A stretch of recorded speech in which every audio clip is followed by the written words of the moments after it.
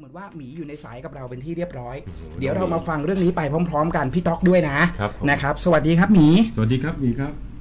สวัสดีครับ อ่า น้องหมีครับ วันนี้ผมอยู่กับพี่แล้วก็พี่ต๊อกสุปกรณ์นะครับ สวัสดีครับพี่ตอกครับ อ่านะครับครับ คือต้องบอกว่าจังหวะมันดีมากนะครับกำลังจะคุยเรื่องเกี่ยวกับกระสือบังเอิญหมีบอกว่าหมีมีเรื่องเกี่ยวกับกระสือพอดีอืมครับผม ที่สำคัญคือไม่ได้มาแค่เรื่องเปล่าๆมีคลิปวิดีโอมาด้วย ใช่ครับ เดี๋ยวมาฟังเรื่องนี้ก่อน เรื่องที่ครับผม หมีจะมาเล่าเนี่ยเกี่ยวกับกระสือเนี่ย มันเป็นยังไง ครับ คืออันนี้ต้องต้องปูเรื่องสักนิดหนึ่งนะครับครับ แจ็คครับ คือในฐานะเราที่ฟังเรื่องผีนะครับอืม แล้วคุณผู้ฟังก็ฟังเรื่องผีมาโอ้โหเกือบเกือบจะครึ่งชีวิตเนี่ย ครับ หลายคนก็อาจจะเจอผีชนิดต่างๆ แต่หนึ่งในนั้นเนี่ยคือผีกระสือที่เรารู้สึกว่าเฮ้ย ทำไมแลมันดูแปลกจังอืมอืมมันมีอยู่จริง ๆ หรือเปล่าครับนะครับ เป็นข้อถกเถียงมาในสังคมบ้านเรานี่นานมากแล้วอืมความความทรงจำของผมนะครับพี่แจ็คอืมกระสือครั้งแรกที่ผมรู้จักเนี่ย น่าจะเห็นเป็นตอนนั้นที่เป็นละครอืมนะครับ ยุคนั้นก็จะเป็นพี่ต้อมรัชนีกรนะครับพี่กิ๊กสวัจนีอะใช่ แล้วก็มีกระสือยายสายถูกนะครับ ผม โอ้โหตอนนั้นน่ากลัวนะอืมในนะครับในยุคน่ากลัวสมัยก่อนเลยนะตอนเด็กๆอะเออ มันน่ากลัวใช่อครับยู่แล้วใช่ มันน่ากลัวเลยเออแล้วมันก็เลยกลายเป็นธรรมเนียมตรงที่ว่ากระสือเนี่ย ถ้าบ้วนน้ำลายใส่แก้วน้ำใครเนี่อืยมคนนั้นเนี่ยก็จะเป็นกระสือตาม เหมือนเป็นการส่งต่อส่งต่อ ใช่ครับอืมส่วนผู้ชายก็จะเป็นกระหัง อืมเชื่อไหมครับพี่แจ็คพี่ต๊อกฮะตอนนั้นนะผมกลัวยายตัวเองเลยนะครับ คือกลัวยายตัวเองเป็นกระสือกลัวยายจะเป็น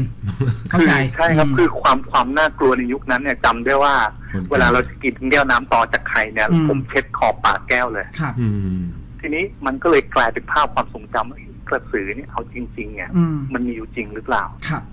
พอผมเริ่มเริ่มเริ่มเข้าสู่เรื่องผีแบบจริงจังเลยเนี่ยอืม นะครับ ก็มีโอกาสนะครับอืมที่ที่ที่ได้ไปสอบถามเวลาผมไปต่างจังหวัดเนี่ยผมครับจะนิสัยชอบคุยกับคนแก่คนเฒ่าอืมอืมคุยไปเรื่อยครับ ปรากฏว่าทางภาคอีสานเนี่ยนะครับพี่แจ๊คครับเขาจะเรียกกระสือชนิดนี้ว่าบางที่นะฮะก็จะเรียกว่าเป็นผีโพงผีโพง อืมใช่ครับ เพราะว่าส่วนมากลักษณะที่เห็นเนี่ยก็จะเป็น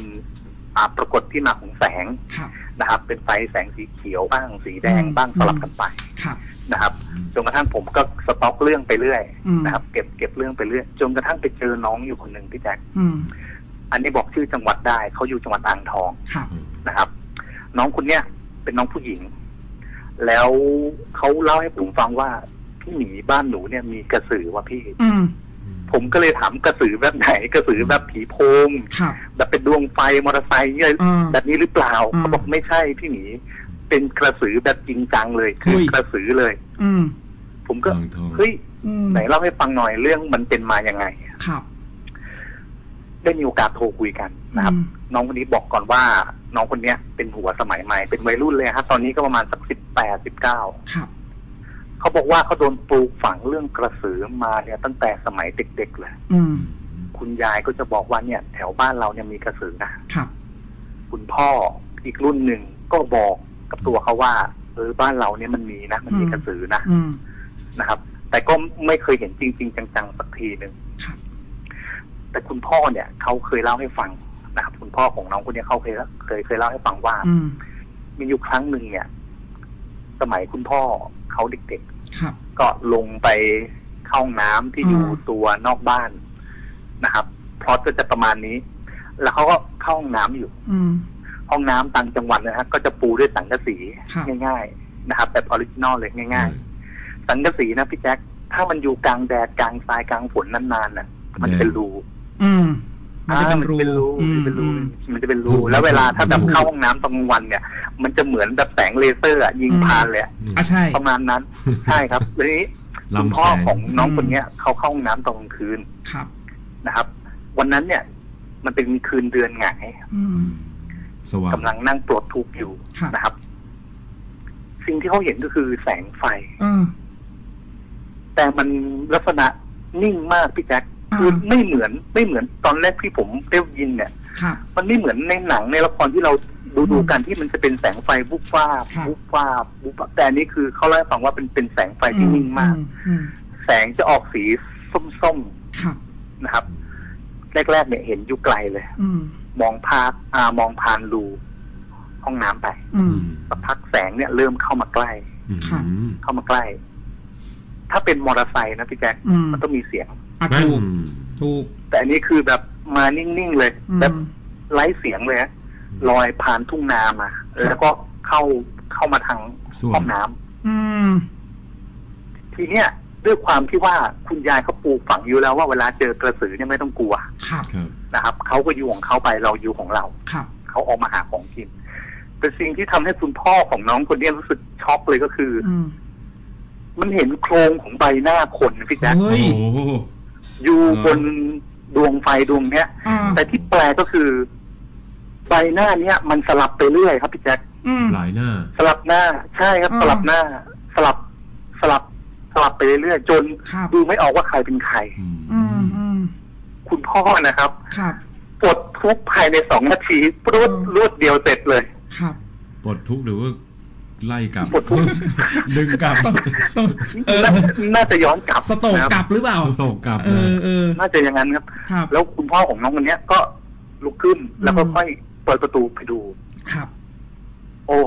ไปแล้วเออมโชคดี ครับ ก็เดินออกมาจากห้องน้ำพี่แจ๊คอืม แล้วก็หันจะไปปิดประตู อืม ปรากฏว่าเขาอะแอบอยู่หลังประตูอะพี่แจ๊คโอ้โหโอ้ไอ้ไอ้ดวง เห็นระยะแบบว่าเหรอ เขาบอกว่าสามารถเอื้อมมือไปจับได้เลยอะ อุ้ยอืม อ๋อ แล้วเขาเห็นชัดมากเลยนะครับ แต่ครับ สิ่งที่เขาบอกเขาเล่าให้ลูกเขาฟังเนี่ยอืม หนึ่งเขาไม่เห็นไส้ ไม่เห็นอืม ตับไตไส้พุงหัวใจไม่เห็นอืม เห็นแต่แสงไฟแล้วก็ใบหน้าที่มันใบหสน้าลับไปเรื่อยอืมสลับไปเรื่อยอืมอย่างเงี้ยฮะแล้วเขาก็วิ่งขึ้นไปบอกคุณยายเลยว่าเจอกระสือครัแต่บแปลกพี่แจ๊คคนโบราณโบราณนี่เขาไม่กลัวกระสือนะเขาไม่กลัว อืมอืมคุณยายบอกว่าเดี๋ยวพรุ่งเนี้ยจะเอาหนามเนี่ยครับไอ้พวกกิ่งไม้ที่มีหนามเนี่ยมาอืมล้อมห้องน้ำเลยเดี๋ยวเดี๋ยวเดี๋ยวครับเล่นงานมันอันนี้คือสิ่งที่เป็นภาพจำของเขาอืมย้อนกลับมาที่น้องคนนี้ครับ ด้วยความที่ว่าน้องคนเนี้ยเขาหัวสมัยใหม่อื มมันจะมีจริงเหรออืมอืมจนกระทั่งน้องคนเนี้ย ก็ไปเรียนที่ต่างประเทศครับพี่แจ๊คครับไปเรียนที่สวีเดนโอ้ต่างประเทศ อืมครับผม แล้วยิ่งไปเจอสังคมฝรั่งเขาก็ลืมเลือนครับวัฒนธรรมบ้านตัวเองไป ลืมเลือนเรื่องราวเด็กๆไปครับ จนกระทั่งเขาเริ่มกลับมาอืม กลับมากลับมา แล้วห้องน้ำห้องนั้นก็ยังอยู่นะพี่แจ๊ค อืมทรงสภาพ ครับ แล้วสิ่งที่ผมรู้สึกว่าเฮ้ยมันว้าวก็คือว่า น้องคนเนี้ย ก็ไปเข้าห้องน้ำที่นี่ ห้องน้ำที่บ้านตัวเองเนี่ยครับอืมกำลังนั่งทำธุระอยู่ เห็นเหมือนกันเลยพี่แจ๊คเหมือนพ่อเลย เห็นดวงไฟเหมือนกันเหรอเหมือนกันครับเออแล้วลอยมาจากฝั่งอีกทุ่งนาอีกอีกอีกอีกฟากหนึ่งเหมือนกันอ่าคือตอนนั้นน้องเขาอายุประมาณปีที่แล้วนี่เองพี่ครัแจ๊บคครับอืมสดเลยอ๋อประมาณสิบแปดอะฮะเห็นอยู่ฝั่งตรงข้ามว่าแสงไฟอะไรว่าแต่ตัวเองอะลืมลืมเรื่องของคุณพ่อไปแล้ว ครับ ก็มองว่าแส งไฟมันอะไรอือะมอืมมันมันมันคืออะไรตั้งคำถามให้กับตัวเองอะครับแล้วแสงไฟเนี้ยก็ลอยมา ลอยมาคือพล็อตเดียวกันเลยอืมอืมลอยตรงมาตรงมา แต่น้องคนเนี้ยเข้าใจว่ามอเตอร์ไซค์ครับอืมเอ๊ะมอเตอร์ไซค์มันก็ต้องมีเสียงเนาะเออเออหรือจะเป็นโดรนหรือเปล่า เออโดนอายุคนี้เราพูดถึงโดนเลยมันมีไฟอ่าแป๊บแป๊บแป๊บแป๊บแป๊บอะใช่ครับอ่าแต่น้องเขาบอกว่าพี่หมีถ้ามันเป็นโดรนอะ มันอืมต้องมีเสียงใบพัด อืมเพราะใบพัดเสียงของโดรนนี่มันดังมากนะครับครับ มันไม่มีมันไม่มีอะไรเลย แล้วน้องคนเนี้ยอยู่ดีก็นึกถึงเรื่องคุณพ่อได้ครับเออแล้วก็พุ่งออกมาดูเลยครับพี่แจ๊คอ๋อปรากฏว่าพุ่งออกมาเลยสิ่งที่เขาเห็นไอ้ดวงไฟดวงเนี้ยอ่ามันลอยขึ้นไปบนฟ้าพี่แจ๊คนี่แหละ จากปกติคือมันลอยต่ำอันนี้คือลอยลอยขึ้นไปบนฟ้าเลยอ๋อแล้วอ๋อเขาบอกว่าไม่มีเสียงไม่มีอะไรอืเลยมอืมแต่น้องคนเนี้ยเหมือนแบบยังสองจิตสองใจอยู่ว่ามันครับอะไร ครัเห็บนเห็นหน้าไหมอืมเห็นเขาเขาเห็นดีเทลบ้างไหไหมมเขาเขาบอกว่าไม่ได้เห็นนะคเอรับอเออเออ พี่ตองครับอืม เขาเขาเขาไม่เห็นครับแต่มาทุกครั้ง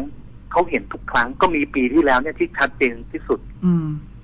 จนกระทั่งน้องคนเนี้ยเขาบอกว่าเดี๋ยวถ้าหนูเจออีกนะหนูอืม จะถ่ายคลิปเอาไว้ อืมปรากฏว่าประมาณปีใหม่ครับน้องเข้ามา แล้วเขาเจออีกรอบหนึ่ง โอ้โห อืมแล้วเขาก็ถ่ายคลิปเก็บไว้เลย เฮ้ย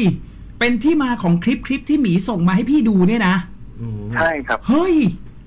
ถ่ายคลิปไว้เลยฮะเออเออเออเออแล้วผมก็ดูนะอ่าคือผมเชื่อน้องเขาอย่างหนึ่งนะครับพี่แจ๊คครับด้วยความที่เป็นคนไม่กลัวอืมในคลิปอะน้องเขายังบอกเลย มันคืออะไรอืมันมคืออะไรแล้วก็ยังนั่งลุ้นกันอยู่ตกแล้วตกแล้วตกแล้วตกแล้วครับแล้วในคลิปเนี่ยมันมันไม่นานนะฮะอืมเพราะว่าถ่ายถ่ายกันไว้หลายช็อตมากกว่าที่จะเห็นมาใกล้ขนาดนั้นครับอืม แต่สิ่งที่ผมรู้สึกแปลกก็คือว่า อืม เวลาเราถ่ายคลิปเรื่องสิ่งลี้ลับพวกเนี้ย ครับ พอเรายกโทรศัพท์ขึ้นมาเพื่อที่จะถ่ายเนี่ย อืม อืม มันจะหายไปแล้วเหมือนไม่เขาก็รู้ เหมือนลอเขายไปรู้ ไกล เออ ใช่ครับ เหมือนเขารู้ตัวแต่อันเนี้ยอืม แต่อันเนี้ยเหมือนสู้กล้องอะอืม อืม จนกระทั่งแสดงเด็กในคลิปมาบอกว่า ครับ ตกแล้วตกแล้วตกแล้วตกแล้วครับ แล้วน้องคนเนี้ยก็เดินออกไปดูหน้าบ้าน แต่ไม่มีอืมคลิปตอนนะฮะเดินไปดูหน้าบ้านฮะ มันก็ไม่มีอะไรอะ อืมอืมมันเหมือนแสงไฟปริศนาซึ่งน้องเขาก็ไม่ได้เห็นครับแบบชัดเจนเห็นแค่ดวงไฟเฉยๆนะพี่แจ๊คเดี๋ยวนะจากรูปที่พี่เห็นณตอนนี้ที่อยู่หน้าจอนะครับ คือต้องบอกคุณผู้ชมคุณผู้ฟังอย่างนี้ก่อนว่ามันเป็นคลิปนะ แต่มันไม่สามารถที่จะเอาขึ้นไลฟ์สดณตอนนี้ได้เดี๋ยวให้น้องวิวีเอาลงเพจ เอาเอาลงเพจได้ใช่ไหมหมี ได้ครับได้นะเขาอนุญาตนะ คือต้องบอกว่าไปดูลักษณะเดี๋ยววิวีเอาเอารูปขึ้นก่อนลูกลักษณะของแสงไฟเท่าที่ผมเห็นคลิปพี่ต๊อกคือเขาถ่าย เนี่ยจากในบ้านแล้วก็ถ่ายออกไปนอกหน้าต่างใช่คือระดับการลอยของแสงไฟอะถ้าดูจากคลิปนะครับ มันลอยสูงนะพี่สูงสูงมันลอยสูงเหนือเหนือหน้าต่างขึ้นไป แล้วก็พยายามจะลอยจากขวาไปซ้าย แล้วก็ลอยขึ้นข้างบนแล้วหายไป ถามว่ามันมันใกล้ไหมมันใกล้มาก แต่ผมเห็นสีอืมของของไฟเนี่ยมันมันมันไม่เหมือนหลอดไฟนะใช่มันเหมือนการเผาครับแต่ถ้าเกิดมันไปอย่างนั้นมันมันต้องดับ มันมีใช่ลมใช่แต่ใช่มันกลายเป็นไฟที่เผาแล้วนิ่งมากครับ คือจะบอกว่าโดรนน่ะโดรนมันก็ไม่น่าจะใช่อย่างที่เขาบอกว่าคือบ้านตามต่างจังหวัดนะครับกลางคืนมันจะเงียบ อย่างน้อยเนี่ยมันก็ต้องได้ยินเสียงใบพัดของโดรนบ้างใช่ไหมได้ยินพี่แน่นอนนะได้ยินแน่นอน ในมือถือยังไม่ได้ยินเลยนะฮะ คือได้ยินแต่เสียงน้องเขาว่ามันคืออะไร แต่น้องเขาต้องบอกว่าจิตสงบนิ่งมากนะ กล้ายืนถ่ายอืมเป็นผมนะ ผมไม่กล้าหรอกครับ ผมไม่กล้าที่จะไปไปดูอะไรอย่างเงี้ยกลัวมันวุบเข้ามา มันรู้เดี๋ยวมองเลยนะพุ่งเข้ามาเลยเออ เราไม่รู้ไงว่าเขาเขาเขามาปรากฏกายปรากฏตัวแบบเนี้ยเขาต้องการอะไรนะครับ แต่จากคลิปที่ดู เฮ้ย อันเนี้ยเดี๋ยวถามก่อนว่าคลิปคลิปเนี้ยน้องหมีเขาถ่ายไว้นานแล้วหรือยังปีใหม่ประมาณช่วงปีใหม่อะพี่แจ๊คไม่นานนะ อืมปีใหม่ไม่นานนะประมาณเออเดือนเดือนสองเดือนกว่าๆนี่เองนะแล้วยังไม่เคยไปเปิดเผยที่ไหนเหรอเอ่อผมเคยแชร์ไว้ที่หน้าเฟซอ่านะอ่าแล้วก็มีคนเข้ามาอ่าแสดงความคิดเห็นอืมก็น่ารักมากฮะอืมอืมคือหนึ่งส่วนหนึ่งเนี่ยเขาไม่เคยเห็นครับแล้วผมรู้สึกสนุกเวลาเขาเขาแสดงความคิดเห็นว่า เอ๊ะอืมเป็นโดรนหรือเปล่า แต่พอเขาเข้าไปดูปุ๊บครับมันก็ไม่มีเสียงอะไร นอกจากครับเสียงมอเตอร์ไซค์ที่วิ่งผ่านอ่าแต่สิ่งที่น่ารักเลยก็คือว่าน้องคนเนี้ยมันคืออะไรอะคือแบบเออใจแข็งมากเลยนะสำหรับผมอะนิ่งมากเออ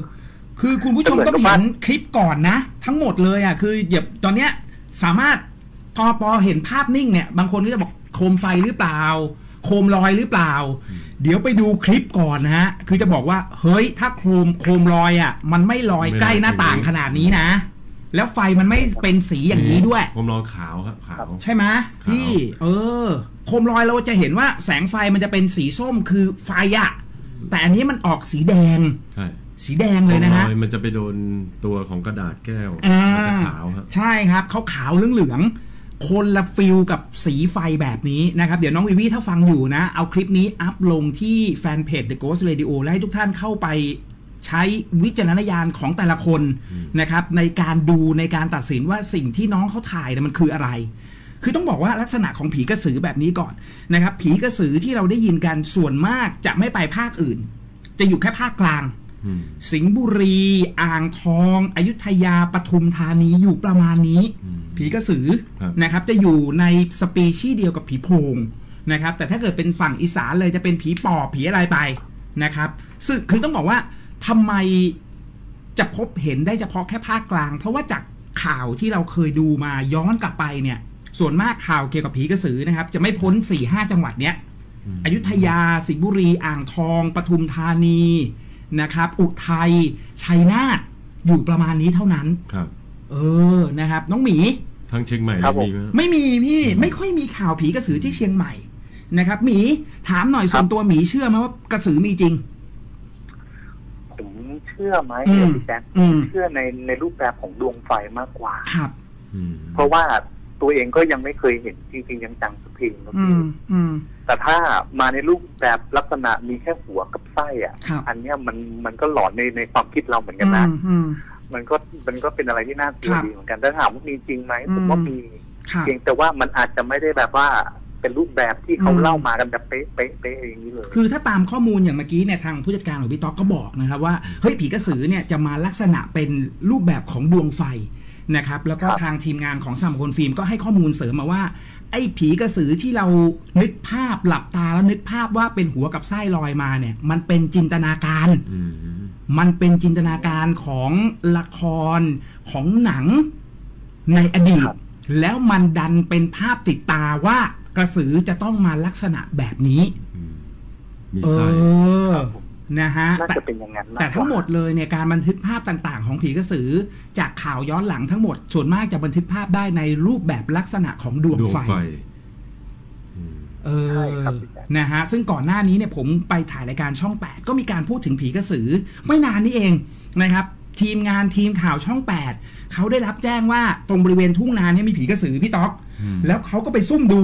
ไปซุ่มดูปรากฏว่าไอ้ดวงไฟเนี่ยมันลอยขึ้นมาจากนาจริง ๆ เขาก็วิ่งตามไป แต่วิ่งตามยังไงก็วิ่งตามไม่ทัน ไม่ทัน ไม่ทันฮะ ผมก็เลยถามว่า เฮ้ย เป็นไปได้ไหมที่เป็นไฟฉายติดหัวของคนหากบหาเขียดเขาบอกอืมเป็นไปไม่ได้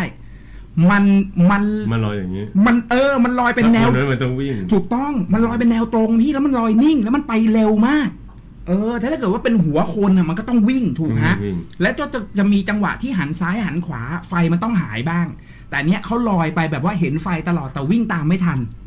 ก็เป็นเรื่องแปลกที่ยังพิสูจน์ไม่ได้เกี่ยวกับเรื่องของกระสือนะครับ เออ ได้ครับหมีวันนี้ขอบคุณมากที่มาเริ่มต้นกับ The Ghost Radio ของเรามาตรงประเด็นมากหมีได้ครับ เอเป็นเลอยนะฮะ ขอบคุณมาก ๆ ครับหมีครับขอณครับคุณหมีครับเช่ผนมกันขอบพระคุณครับบสวัสดีครับ ขอบคุณครับผม